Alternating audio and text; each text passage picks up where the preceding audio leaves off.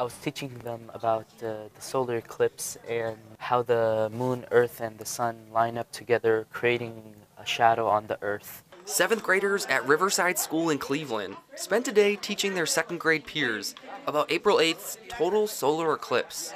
It's gonna go completely dark for like uh like About like four three minutes like and a four half. minutes. It's on April eighth.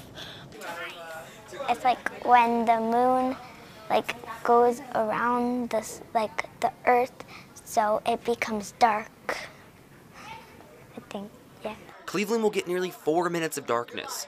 And the city is preparing with a Rock and Roll Hall of Fame playlist, a watch party at the baseball stadium, and more. But schools are preparing for the big moment with special lessons. Cleveland is very boring. Like there's nothing that really be happening out here. So like for the solar eclipse to be here, it's like and a whole bunch of people are coming. It's like something new. Um, it's gonna like in the afternoon it's gonna be really dark. Students built eclipse models.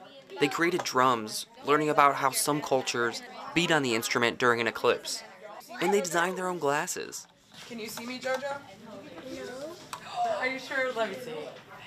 I was really honestly so pleased with them because I saw a lot of kids who normally don't say too much really connecting and able to explain it at a term for the younger ones. And when you're able to, once you teach it, is when you know it. To finish out the lesson, second graders got to test out their glasses, scare away the darkness with their drums, and celebrate their upcoming day off from school on April 8th. Patrick Orsagos, Associated Press, in Cleveland, Ohio.